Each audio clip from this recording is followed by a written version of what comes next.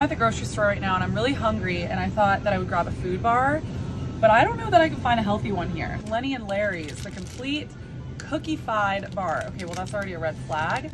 This has sunflower oil, has agave syrup, which is basically high fructose corn syrup. This is not food. So there's a protein blend, soluble corn fiber, again not organic, so it's genetically modified, oats, which are very highly sprayed with pesticides, artificial sweeteners in here. I mean, there's just nothing of value that's going to provide any nutrients for your body. Okay, so kind of not the worst. Five grams of sugar per bar, six grams of protein. It's not organic, so the almonds are sprayed with glyphosate and other herbicides and pesticides. And there's glucose syrup in here, palm kernel oil, natural flavors. It's just not great. I know they taste good, but again, this is not really going to provide a lot for my body.